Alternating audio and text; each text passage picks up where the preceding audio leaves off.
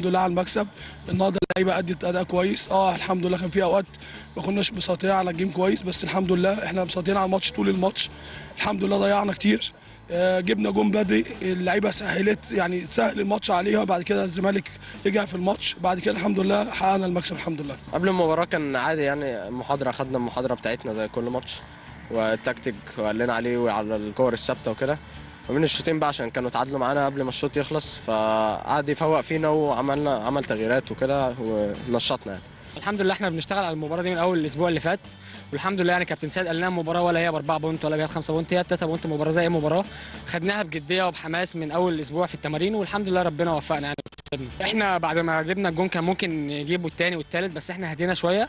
بعد ما دخل فينا الجون يعني ما بين الشوطين كابتن سيد قال لنا ما ينفعش الماتش ما ينفعش يضيع مننا. يعني إحنا أحسن وإحنا إن شاء الله يعني قال لنا هنكسب يعني.